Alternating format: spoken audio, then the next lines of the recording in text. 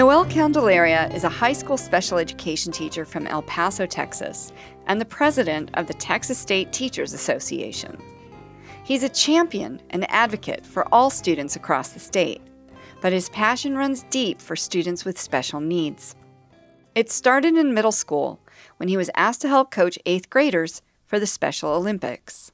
I jumped on the opportunity of being able to work with a group of students that most would shy away from or would try to avoid. And I was part of a group of uh, four other students who helped coach um, my fellow uh, eighth graders and helped prepare them for Special Olympics. And um, that's what started uh, my journey in working with uh, students with special needs and seeing how um, unique they were and how much they loved life and um, how much they were eager to learn and um, how really just you know by caring uh, provide them a whole new way of living.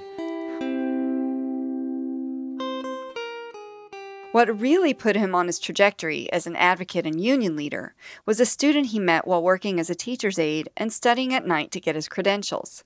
He taught in the developmental skills class for students with intellectual disabilities. And we were just trying to teach them basic day to day skills and be as independent as possible.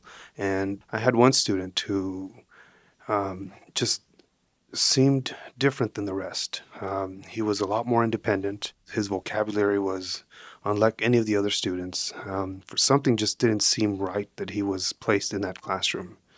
And so we used to take our students out on, you know, community outings um, to try to teach them the independent skills of, you know, going to the store, putting together a list of groceries, being able to, you know, pay and get the correct change. I mean, the skills that a lot of us just take for granted that for them, you know, it's, it's a really life skill that, that we have to teach them. And, you know, being on that city bus, uh, riding with our students, we're driving across uh, McDonald's. And so immediately the student says, Hey, mister, are we going to go to McDonald's for lunch?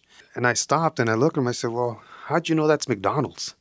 He said, Well, it says right there. And I said, Yeah, but I thought you said you didn't know how to read. And so he just, you know, he stopped for a moment. He said, But I don't. And I said, You just read that sign. I said, You know, we call that environmental print. I said, You know how to read. And he just kind of stood there, and I just remember seeing that big smile, and he said, I can read? I said, Yeah. I said, You just read. And, uh, you know, he, uh, he just stood there and you know just in, in amazement. And i said now how would you like to learn how to read other things? I said other things that, are not just in pictures. Um, and he said oh that'd be great. He goes i'd love to do that.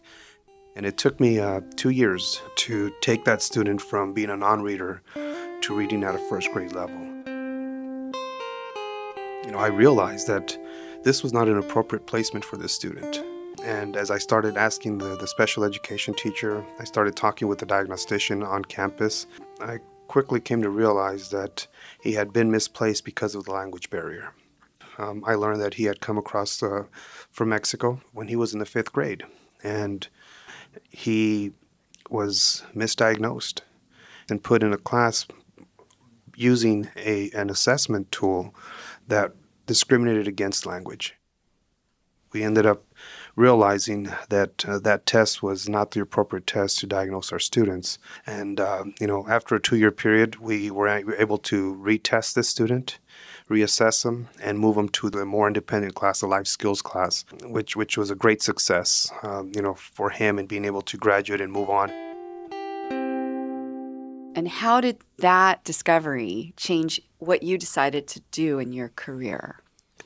The more I learned about that test, it it began my advocacy journey uh, because we were able to then working with the diagnostician and the special education teacher realize that in a community that is mostly bilingual, I mean, a lot of our students are coming to our schools um, not knowing English. Um, I, I, was one of those students. Uh, knowing and understanding that the reality that how many more students in our district have been misdiagnosed and misplaced. Because we're using an assessment that discriminates and has a bias against language uh, built into it. Um, really prompted a, a, movement of eventually getting rid of that assessment. Um, so I was really happy at how my discovery and my advocacy for my student ended up in, in district wide and, and ultimately citywide change because it impacted all the neighboring districts to no longer use that assessment.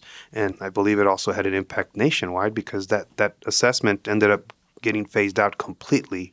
And so um, it it started to show me how important it was to have someone advocating for these students. Um, and that's really what, what took me on, on this journey, um, you know, to be an advocate uh, primarily for students and my colleagues.